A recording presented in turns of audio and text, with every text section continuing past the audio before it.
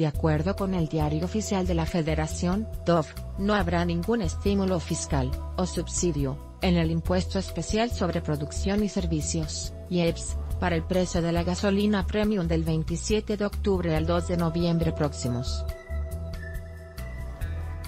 La Asociación Mexicana de Empresarios Gasolineros, AMEGAS, informó que al desaparecer ese estímulo se cobrará el tope de 3.88 pesos de IEPS por litro en la tipo premium, que es la cuota originalmente estipulada por las autoridades para tal impuesto durante 2018, pero a lo largo del año se aplicaron rebajas en el gravamen para evitar alzas bruscas.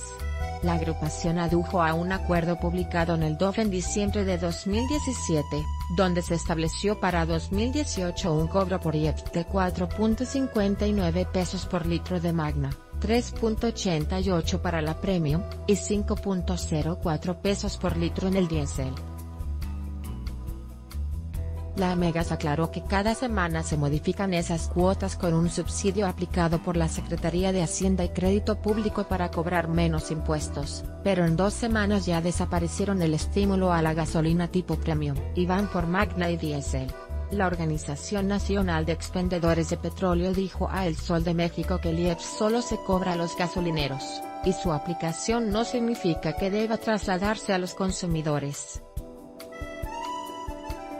No obstante, el analista Ramsés Pech señala que el aumento dependerá de cada estación de servicio o si sacrifica ganancia para mantener su volumen de venta.